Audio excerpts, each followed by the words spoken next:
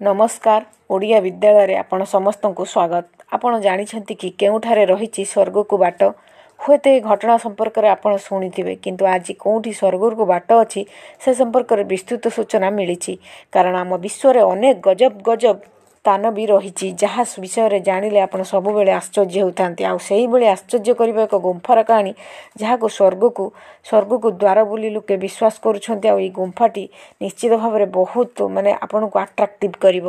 ସମଗ୍ର ବିଶ୍ୱରେ ରହିଛି ଅନେକ ଅଦ୍ଭୁତ ସ୍ଥାନ। ଯେଉଁ ସ୍ଥାନ ଗୁଡ଼ିକ ବିଷୟରେ ଜାଣିବା ପରେ ଆପଣ ବି ଆଶ୍ଚର୍ଯ୍ୟ ହେବେ।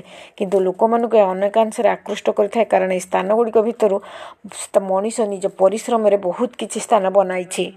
ଆଉ ଗୋଟେ ପଟେ ଏହି ସ୍ଥାନକୁ ପ୍ରକୃତିର ଚମତ୍କାର କହିବା ମଧ୍ୟ ଭୁଲ ହେବ ନାହିଁ। କାରଣ ଏହି ସ୍ଥାନ ହେଉଛି ତିଆନମେନ୍ ଲ ମାଉଣ୍ଟେନ୍। ଏହି ସ୍ଥାନଟି ଏକ ପ୍ରମୁଖ ଟୁରିଷ୍ଟ ଆଟ୍ରାକ୍ସନ୍।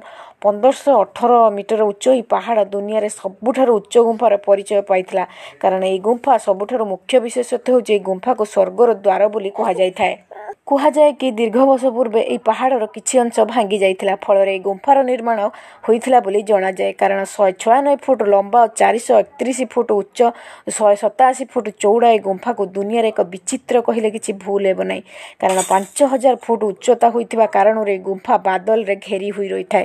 ସମ୍ଭବତଃ ଏହି କାରଣରୁ ଲୋକମାନେ ଏହାକୁ ସ୍ୱର୍ଗର ଦ୍ୱାର ବୋଲି କହିବା ଆରମ୍ଭ କରିଥିଲେ। କାରଣ ଏଠାକୁ ଯିବା ଲାଗି ଲୋକମାନେ ରାସ୍ତା ବ୍ୟବହାର କରିବା ସହ କେବଲ୍ ଟେ ୱେର ମଧ୍ୟ ବ୍ୟବହାର କରିଥାନ୍ତି।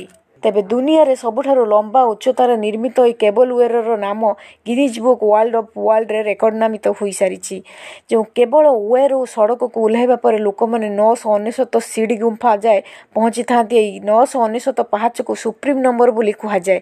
ଏହା ସମ୍ରାଟଙ୍କ ପ୍ରତୀକ ବୋଲି ମନାଯାଏ କାରଣ କୋଡ଼ିଏ ଶତାବ୍ଦୀରେ ତିଆନମେନ୍ ମାଉଣ୍ଟେନ୍ ନିକଟରେ ଏକ ୱାଟରଫଲ୍ ଥିଲା ଯାହା କେବଳ ପନ୍ଦର ମିନିଟ୍ ପାଇଁ ଦୃଶ୍ୟମାନ ହେଉଥିଲା। ଏହାର ପାଣି ପନ୍ଦରଶହ ମିଟର ଉଚ୍ଚତାରୁ ସିଧା ତଳକୁ ପଡ଼ିଥାଏ। କିନ୍ତୁ ଆଶ୍ଚର୍ଯ୍ୟର କଥା ବର୍ତ୍ତମାନ ଏହି ଝରଣାର କୌଣସି ଚିହ୍ନବର୍ଣ୍ଣ ନାହିଁ। ଏହି ପାହାଡ଼ରେ ଅନେକ ଗୁପ୍ତ ସମ୍ପତ୍ତି ଲୁଚି ରହିଛି। ଅନେକ ଲୋକ ଏହି ସମ୍ପତ୍ତିର ସନ୍ଧାନରେ ଲାଗିଛନ୍ତି କିନ୍ତୁ ଅସଫଳ ହୋଇଛନ୍ତି।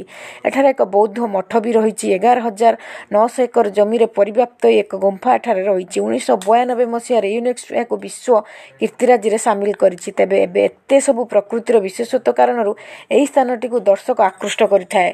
ଏଠାକୁ ବହୁଳ ସଂଖ୍ୟାରେ ପର୍ଯ୍ୟଟକମାନେ ଆସିଥାନ୍ତି। ଆଉ ଏହି ପ୍ରାକୃତିକ ପରିବେଶ ସ୍ୱର୍ଗର ଦ୍ୱାର ନିକଟରେ ପହଞ୍ଚିବାର ଅନୁଭୂତିକୁ ବେଶ ଉପଭୋଗ କରିଥାନ୍ତି। ତେବେ ଏହି ଜାଗାଟି ଚାଇନାରେ ରହିଛି। ତେଣୁ ଆପଣ କେବେ ବି ଏହି ସ୍ଥାନକୁ ଆସି ଥରେ ବୁଲିବା ବୁଲି ଯାଆନ୍ତୁ। ଆଶା କରୁଛି ଭିଡ଼ିଓଟି ଆପଣମାନଙ୍କୁ ଭଲ ଲାଗିଥିବ। ଯଦି ଭଲ ଲାଗିଥିବ ନିଶ୍ଚିତ ଭାବରେ ସେୟାର କରନ୍ତୁ। ଆଉ ଓଡ଼ିଆ ବିଦ୍ୟାଳୟ ଚ୍ୟାନେଲକୁ ସବସ୍କ୍ରାଇବ୍ ମଧ୍ୟ କରନ୍ତୁ। ରହୁଛି ନମସ୍କାର।